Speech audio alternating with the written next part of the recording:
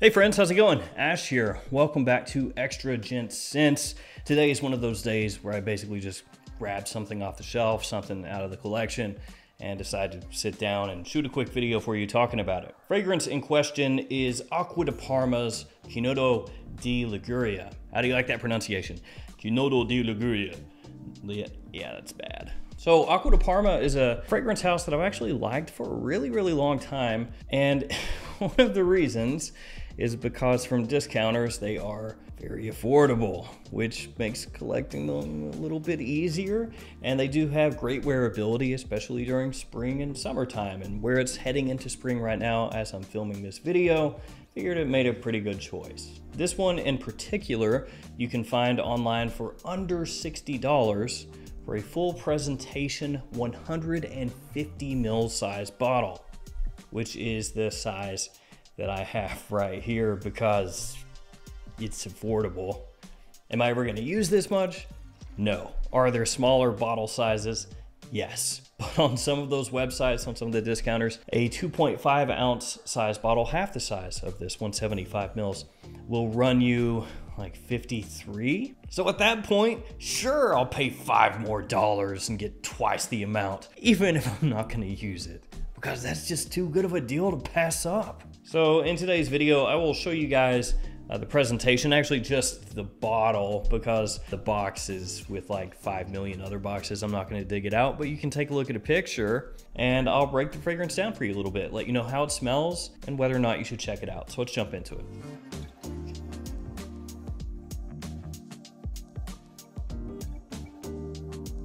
So this one I will link in the description along with some of the other fragrances from this house that I like a lot. Again, a bunch of them are cheap. Now, not all of them, some of their higher end fragrances, they're a little bit pricier, but a whole bunch, a whole mess of fragrances from Acqua di Parma are on the cheap at least from discounters. I think at retail it's like 210 or something like that, but uh, uh, 58 sounds better. Acqua di Parma, if you're watching this, I'm just playing. Retail is a good price for these guys. So uh, that was just a joke. Acqua di Parma doesn't even know who I am. All right, let's go ahead and check out the presentation. okay, so here's the box. Okay. I really should have one of those out here. It's actually a, a little tube. Uh, that's how most Acqua di Parmas come. I actually like them. It's like their own little style. And here is the bottle. I think it looks nice. Very classy, but simple. And you have a little sticker on the front there with the name of the house the name of the fragrance. The cap slides snugly into place, so you can really easily pick these up by the cap, no problem. On the bottom, you have your sticker, which has your badge code, and also your uh, concentration on there. Actually, mine I bought as a tester, I just realized. That's how long I've had this stuff. I didn't even remember that I bought this one as a tester, but yeah, this is a tester. My badge code is 2390X, and this is an EDT Eau de Toilette concentration. Go ahead and share a couple sprays, guys, so you can check out the atomizer in action. Here we go. Real solid.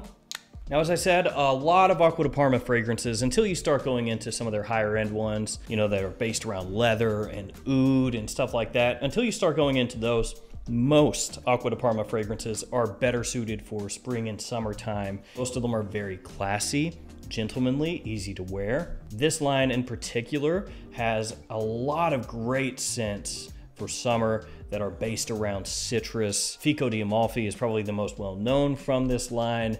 It's based around fig primarily, but a lot of the others based around citrus.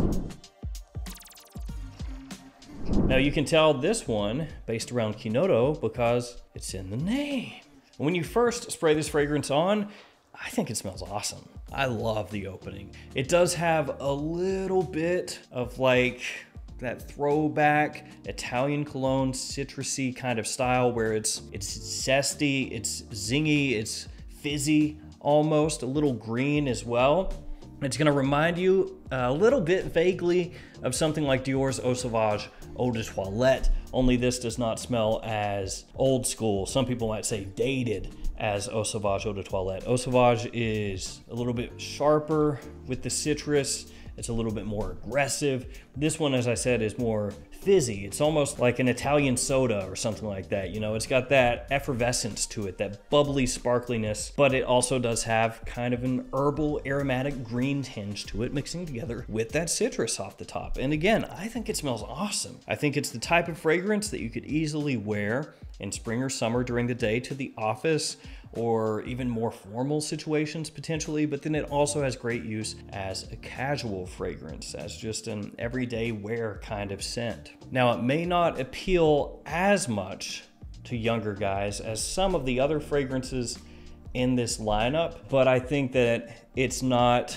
the type of scent that's so classy, sophisticated, whatever you want to call it, that it's unwearable by younger guys. I think that as long as you have an appreciation for a little bit of that herbal tinge, that aromatic tinge, that you can rock this pretty easily. So yeah, the opening, again, love it, love it. And uh, to be fair, that's really the strong suit for most of the fragrances in this line is their openings because some of those fragrances have openings that I think are just absolutely killer.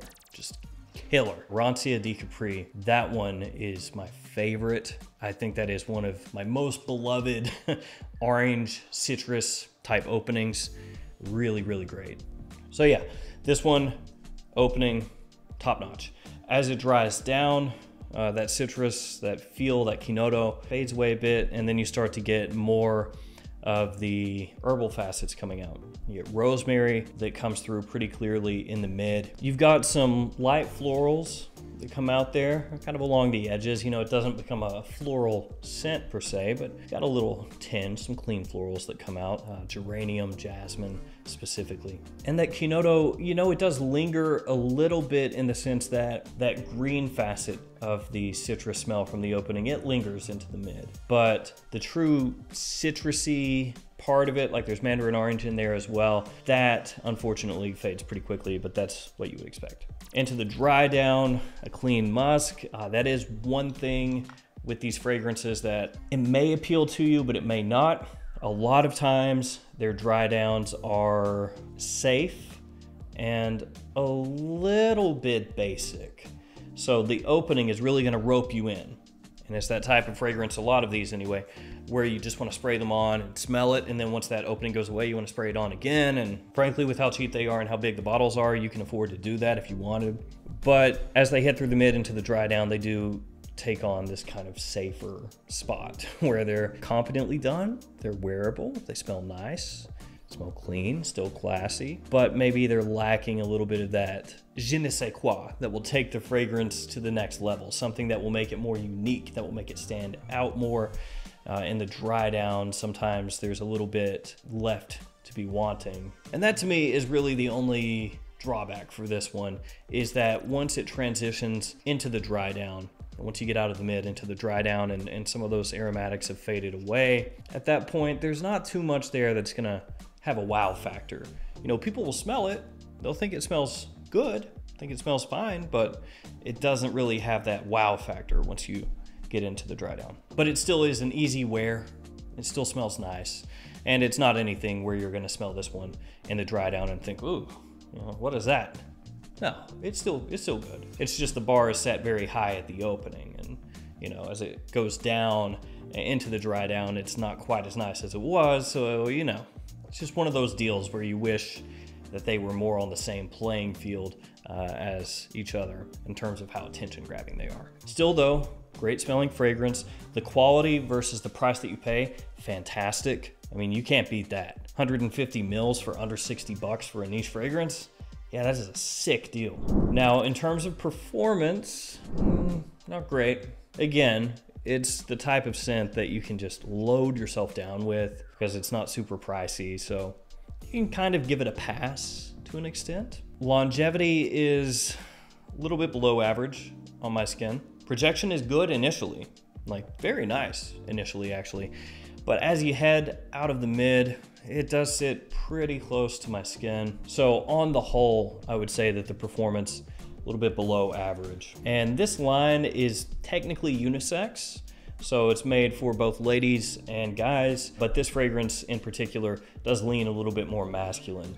And again, that is going to be partially because you can tie the way this one smells into some of the classic men's fragrances from yesteryear, obviously with a little bit of a modern twist. But because of that similarity, it does lean more masculine. I think a lot of ladies would smell this and maybe not go for it. In terms of seasons, spring and summer, just straight up spring and summer, and not the type of fragrance that's gonna match as well during fall or winter. But I mean, if you wanna wear it during fall or winter, go for it. Knock yourself out. You'll be smelling pretty unique. I'll tell you that much. Not too many people are gonna be wearing this. And as far as daytime or nighttime use, daytime. This is very much more of a daytime fragrance. As I said though, good versatility. This is a potential office fragrance, a good casual fragrance. You could even dress it up a little bit because of that kind of classic masculine style that it has. I just think it's a, a perfect classy scent that has a throwback feel. During spring or summer, can't go wrong with this stuff. And that price point under 60 bucks, just awesome. I own pretty much every fragrance in this line. So I may cover some more of the other ones. They're actually right up there uh, later on on this channel. This is not my favorite from the line, but it's a very solid one. So there we go, a little uh, fresh scent. Gonna have you smelling super classy for this spring and summer. That is also a great buy at the price. Do not pay retail for it. Uh, don't do that, no. With how much you can save on that, that would be a travesty. All right, guys, I'm gonna head out of here. If you've smelled fragrances from this line, let me know which ones are your absolute favorites. Which ones do you love the most? Thank you for hanging with me. Stay safe out there. I'll see you again another day with another video. See you guys later.